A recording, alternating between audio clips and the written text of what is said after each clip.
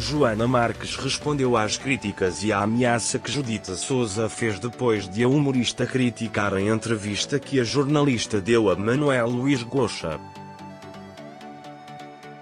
Mais numa vez, a radialista da Renascença brincou com a pivô da CNN Portugal.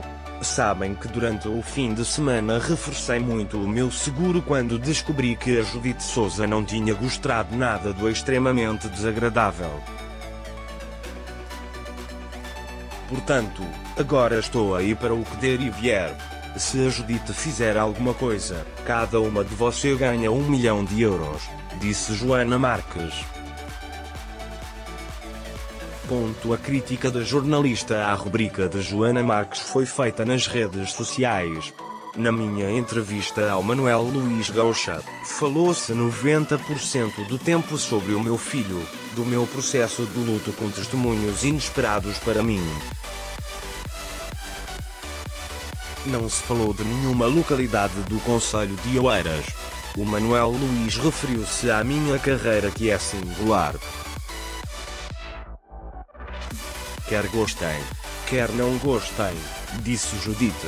Haverá um dia, um dia em que alguns seres humanos terão que se encontrar comigo cara a cara. Pode ser em Lisboa ou numa outra qualquer parte do mundo. Mas vai acontecer. Prometo-lhe.